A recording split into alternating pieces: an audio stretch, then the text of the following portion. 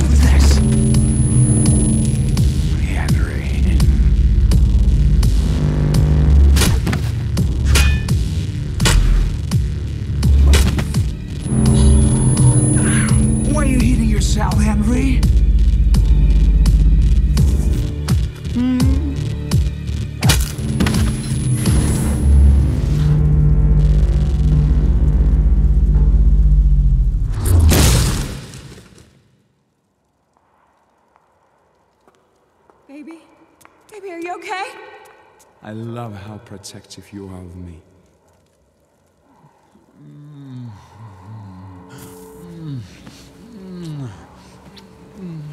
You owe me an apology.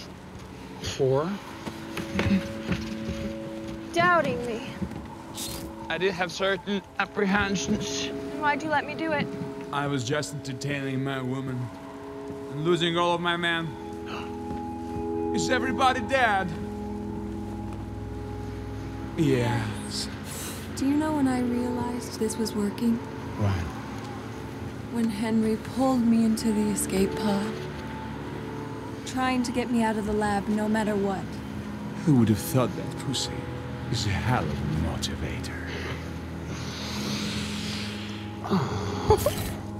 we'll have a hundred of you tomorrow, a thousand next week.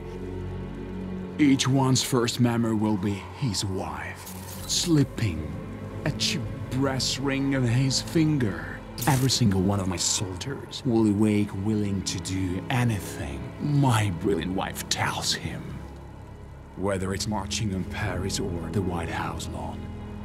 I would like to pretend you understand the part you played. You didn't make history, Henry. You helped end it.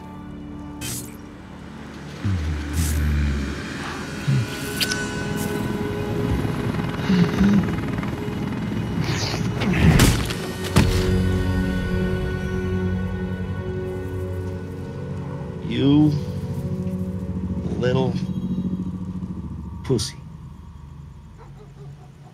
That's what my old man called me.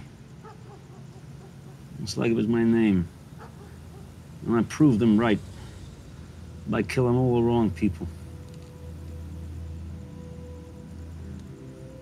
I love you, Henry. And I'll never call you anything but your name, but you gotta decide. Are you gonna lay there? swallow that blood in your mouth? Are you gonna stand up, spit it out, and go spill theirs?